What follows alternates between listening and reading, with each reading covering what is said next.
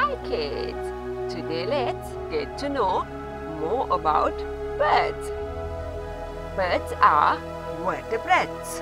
Birds have wings and most of them can fly. Body is covered with feathers. Birds lay eggs. They have light and hollow bones. They have feet and claws. They breathe with their lungs. They do not have teeth. Instead, they have a beak which is used to tear, bite, chew, crush their food. They can be domestic or wild. Domestic birds live near us, like in farms, homes, or pens.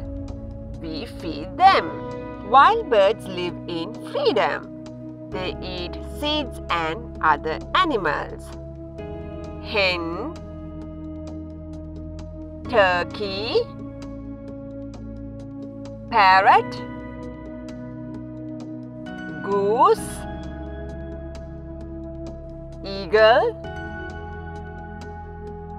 owl,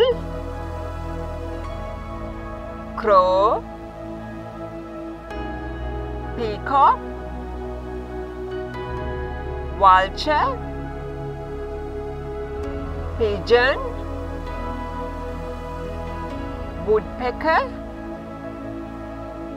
kingfisher, pelican are some of them.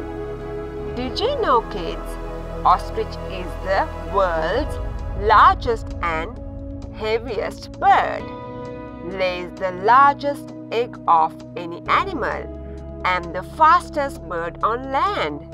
The ostrich has the biggest eyeball of any bird. The smallest bird egg is the size of a pea.